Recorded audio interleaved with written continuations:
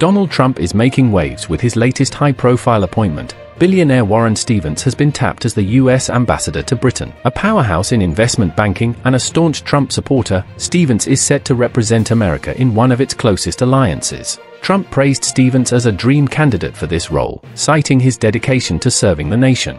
But critics wonder, how much of this is diplomacy, and how much is loyalty rewards? This announcement follows Trump's plan to nominate Charles Kushner, his son-in-law's father, as ambassador to France, raising questions about the balance of loyalty and qualifications in these decisions. What could this mean for global diplomacy and the US's international standing? Stay tuned as we dive deeper into Trump's team picks and their potential impact.